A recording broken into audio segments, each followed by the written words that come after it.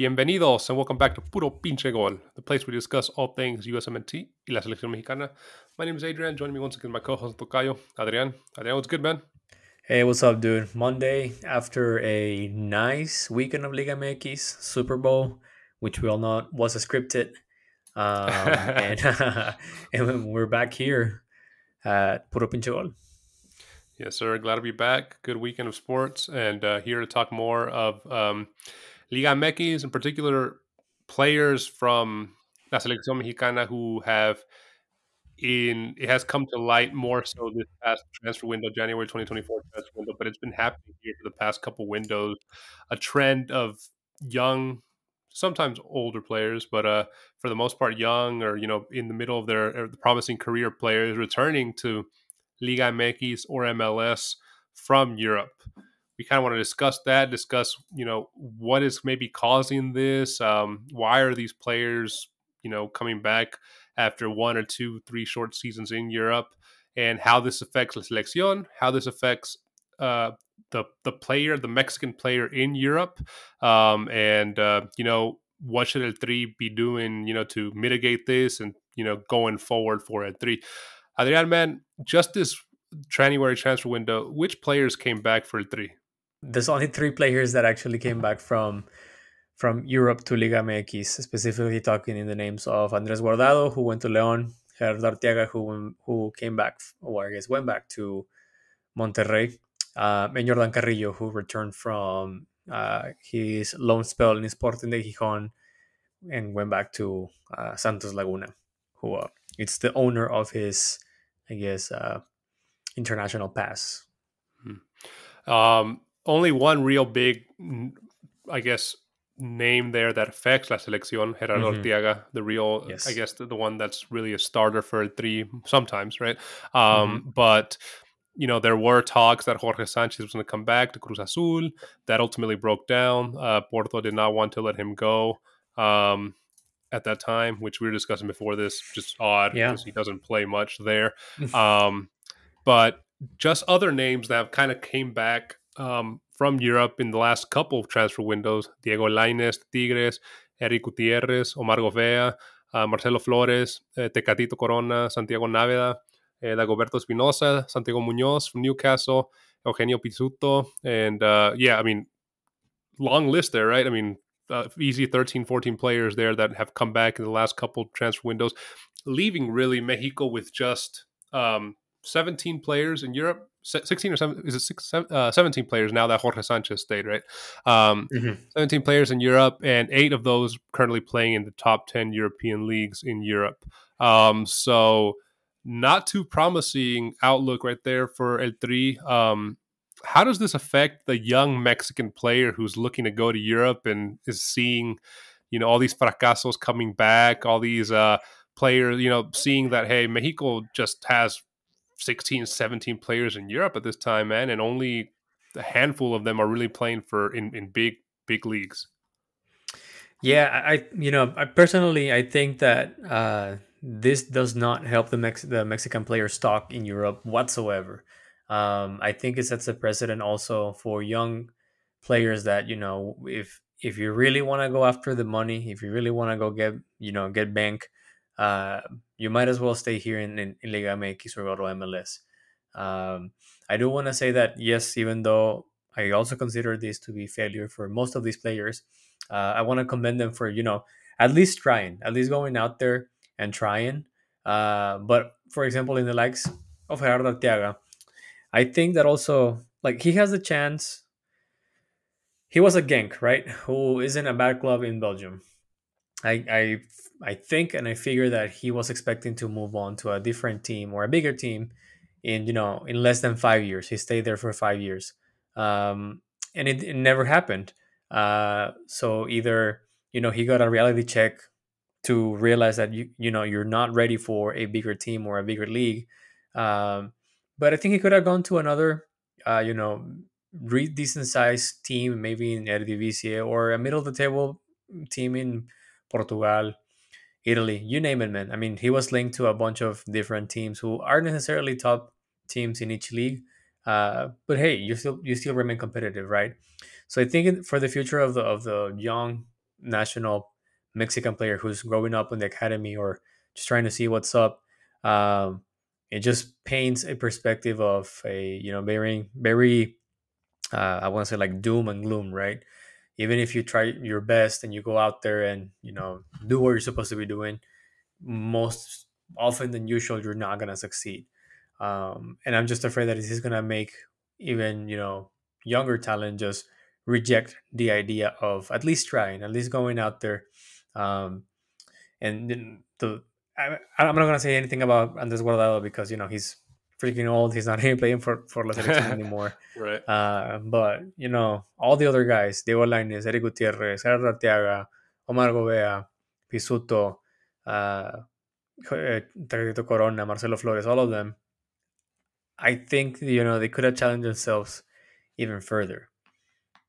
For sure. Um, I think it kind of sets a precedent that um, you know if well, first of all, I, I think we, have discussed it before um, how Liga MX pays, pays a premium for mm-hmm. uh, seleccionados, uh, uh, Mexicanos, right? That that do well.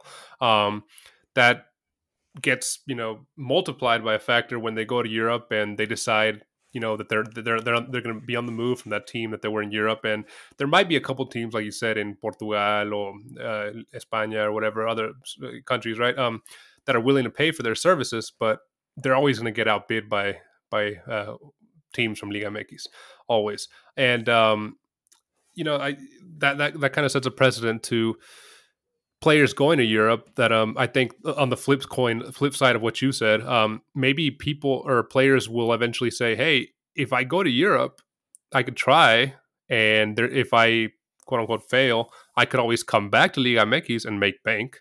Um, yeah. There's always there's always that plus side for them, right? Um, mm-hmm. But yeah, I mean, it, it, doesn't paint a pretty picture knowing that um, you know so many other and three players before them have have come and tried in Europe and haven't lasted too long. Um, I'm surprised that um, what's his name Gerardo Arteaga uh, lasted that long with um, with uh, Genk. I didn't realize it was five years already. I mean, um, he was he was doing great, man. I mean, he yeah. he was actually starting. He was playing pretty much every single week. He had you know uh, uh, Europa League opportunities. He played in, in UCL with Genk. Um, I just think that everything fell apart whenever he came for I think the Nations League and the Gold Cup. It was there was um, a, a, couple of matches that he came over here. Uh, and when while he was with Mexico, they changed coach. Uh, and when he, when he when he went back to Genk, it, it, was just you know I guess the the boat had already left the the mm-hmm. shore and it was kind of late for him, so he he fell off the I guess current coach radar. Yep. Couldn't make it, but to me it's like to, to your point. They already know, right? They know for a fact that Liga MX is gonna pay a premium for any Mexican player who's not necessarily an outlier, but above average, right? Because what you have in Liga MX is average. Um, so why not just keep on going? Like you, you know, you you you're banking on yourself that when you turn 28, you know, 26, 27, 28, you're still gonna have enough, uh, I guess, name or recognition in Liga MX that when you raise your hand and you say, "Hey, I want to go back to Mexico," the likes of America, Cruz Azul, Chivas, Tigres, Monterrey, they're going to look up for you and they're going to pay you whatever you're asking for. Because it's also not a lie that there isn't that many strong talent, Mexican talent specifically, in Liga MX. Yeah, we see it time and again for the big teams, the five you mentioned, maybe 6 7 mm-hmm. other or two or three others. Um, those positions are filled by extranjeros, right? I mean, we know that they have to start. What is it? Three three seleccionados mexicanos per per per starting eleven. Um, so uh, that is a premium, but uh, yeah, I mean, we know that those rosters are, are filled with extranjeros just because, like you said, there's not many above average uh, Mexicanos, and when they are above average, they get picked up right away. Um, do you think Liga MX is the culprit here, the big culprit responsible for you know these players coming back? You know, I don't, I don't, I don't really want to make Liga MX the main reason why they're all coming back, right? Um, it is definitely a contributor, maybe a catalyzer of the situation, but I think also we'll maybe also have to look at ourselves and just realize that hey, at this point in time, our players are not uh, at the level that we think they are, right? Because we keep on thinking that Mexican players are maybe slightly above a Peruvian player or a Colombian player or at the same level as a Colombian, Colombian player. But truth is, maybe they're, they're, they, are, they aren't. And it, I think it has to do with a more holistic approach of how are we prepping the infrastructure around the development of these, these young players to be more competitive? Are we providing enough resources for coaches and staff to be more prepared so they can pass on the latest best practices that you know you see in England, that you see in Eredivisie, that you see in countries that are essentially uh, famous or well known for developing talent. Uh, so it Liga MX, yes, they have some. Uh, they, they are. We can blame them at, at some point, but I don't think it's uh, fair to say that they are the main reason why they are not, you know, young young talent, young Mexican talent is not succeeding in in Europe, and the main reason why they want to come back. I also want to say that as a fellow Mexican outside of Mexico, is it's very enticing to always, you know, romanticize or just think of the idea of going back home. You know, you always have this idea of going back home. You get this nostalgia, this uh, nostalgic thought of hey maybe i want to go back to you know where i came from and with my family and all that stuff. It's difficult to be homesick but i i'm i just want to think that maybe this some of these young players don't really have the the support system around them to make them realize that hey you're betting on yourself you're improving yourself. If you keep on going this path right if you're consistent if you keep you know if you do what you have to do more often than than than than you think you're gonna set yourself up for success and you're gonna have this amazing future right? Whether if it's making a breakthrough uh, through making a breakthrough on a european team or just coming back home and you know getting picked up by a big team. Yeah so a lot of factors. Liga mx is playing mm-hmm. a factor the, the, comfort of the player um that the long the willingness to go back home uh just kind of all pretty much play a role right into into the reason we see all these Mexicans. That's pretty back. much what happened to Gerardo Arteaga. He just said, yeah. "Hey, I want to go home. I want to go back home. Like I want to mm-hmm. go back to Mexico." It wasn't necessarily a situation of he's not getting you know enough plate. Well, of course, not getting the plate that he wanted, right? But it was more of a, I just want to go back to to my country. Yeah. Um, speaking of that, man, how does Mexico mitigate this? Uh, you know, I know we have on our on our show notes should they start looking for dual nationals? Speaking of that, today uh, it was announced that Mexico uh, has uh, acquired the services of the Brazilian Matheus Royce Reis, whatever however you say his name, um, the sub sub eighteen uh, player that uh, you know he uh, he was born in Mexico, right? To mm-hmm. Brazilian players when his dad was playing at Pumas or something. Um, but yeah, he he's been playing in in Brazil. He's been champion in Brazil, Fluminense, and now he's going to be playing with the Tri. Um, Damn, is this is this a new um, a new I guess trajectory that a Tri can take to kind of get more players abroad? I don't I don't see why not, man. To be honest with you, I think this is this is a frontier they haven't explored yet, at least not to the extent of luring that talent that can actually go to Europe, right? I, I think we've seen most recently than you know over the last I guess 15 years uh, than you know in the 90s or in the 80s, see the El Tri fighting for those dual nats with the USMNT. But we also have to realize that over the last 40 years, there have been, there has been an exodus. Well, maybe not an exodus, but there there has been a lot of Mexicans leaving Mexico and going to Europe, going to uh, to the United States, to Canada, to you know, in the middle of nowhere in Asia. I don't know, you name it. And some of these some some of these guys are having children on those countries, and those, that children are, are growing up on the academy systems of those countries, right? And I think it's it's a I think it's a worthwhile solution. I think it will be a good effort from Doña Fede and sus secuaces to invest the money and developing a scouting network of you know dual net uh, talents. There's a couple of uh, brothers in um, in Switzerland, if I'm not mistaken. I cannot remember the name right now, uh, but those two brothers, one of them is already playing at the top level in Switzerland with I think uh, Luzern, uh, FC Luzern. Dude, that's uh, an unheard talent that most likely can get you know might be in contention to get capped by Switzerland, but it's maybe on the fifth place in the picking order, right? For Mexico, he will be at least on the second picking order. So right. why not start, you know, touching base with those players, approaching their families, and you know, hey, we'll we'll do everything that we can to keep your son here in in Europe, but all you have to do is commit to Mexico, right? You already have your dual nat your um, your dual passport, so you can play in Europe whatever you want. Um, and Mexico is going to provide you with the oppor- the other opportunities that you may not have because you're not necessarily top talent for that country.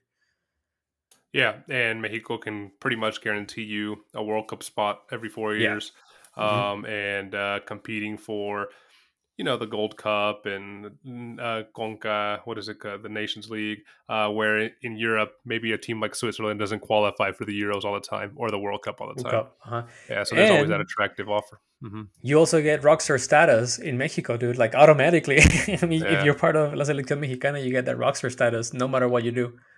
Even more so being a European. Exactly. Um, but yeah, man, we you know we saw this strategy kind of work for the USMNT recently, right? Uh, mm-hmm. You know, we, we said Mexico has 17 in Europe, eight of those players playing in the top European leagues.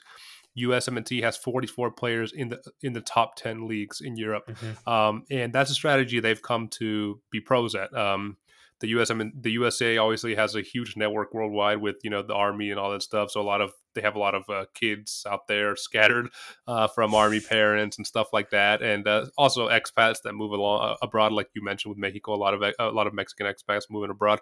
Um, so yeah, this is something that can only help Mexico. I mean, it, will it'll bring um, that number up, and uh, we've seen uh, success for the USMNT. So probably same Bro. success for Mexico over over the last World Cup, right? Every single competitive uh, nation that you, that you saw out there had dual nats, whether they were born by immigrants at the country or they were they migrated to that specific country. You know, France had Camavinga, who is not French born, but he migrated to France when he was super young and got his citizenship. Right? I don't. I I have nothing against that. I don't think it should be a uh, an obstacle for the national team, specifically talking about Mexico, to you know start scouting out there. Uh, because if you if you don't if you're not gonna put your money in developing talent at your own country and making sure that you can ship them out so they can get more competitive, then at least put it where you think you can get a slight advantage, which is finding those dual nats out there. And hell, even if you have like um, foreign players who moved to Mexico and made made a, a life in Mexico, and they have children and families and all that stuff, also help them out, right? Because those players have an easy access to Europe through their parents or, you know, to other leagues. For example, the first one that comes to my mind, and it's just because I'm, I'm a Tigres fan, uh, is Andre Pierre He has a, a son who was born in um, in Monterrey. Why not approach Gignac and be like, hey man, you can give him a French passport through you through you. We'll do everything that we can to put him out there in Europe. No, for sure. I mean, not necessarily the same thing, but I mean, like like Bebote, right? He's Argentine. Mm-hmm. Um, through his parents that were playing, or his dad was playing Cruz Azul at the time, and uh, he's committed to La Selección. Um, mm-hmm. Yeah, uh, that's another good strategy that you know could give fruit to to Mexico, man. Um, a lot to think about, Adrian. Uh, hopefully, we start seeing here an exodus of Mexicans going back to Europe um, in the next in the summer transfer window. Hopefully, uh, but uh, one can only hope. Um, Adrian, man, as we wrap up this episode, dude, where can our listeners find us? They can always find us on YouTube. Don't forget to subscribe, hit the like button, and turn on the notifications. You can also find us on Apple Podcast, Spotify, or wherever you get your podcast on. Last but not least, you should also pay attention to our YouTube Shorts and Instagram because we post stuff every now and then. Yeah, make sure to follow us. And uh, let us know below in the comments uh, what you think of this topic. Why do you think so many Mexicans are coming back to Mexico? Uh, how do you think El Tri should kind of fix this and you know find a way to help these young Mexican players uh, not only move to Europe but thrive in Europe, find places where they they play. Gerardo Arteaga um, he was a good example of how to go there, find a team where you play constantly.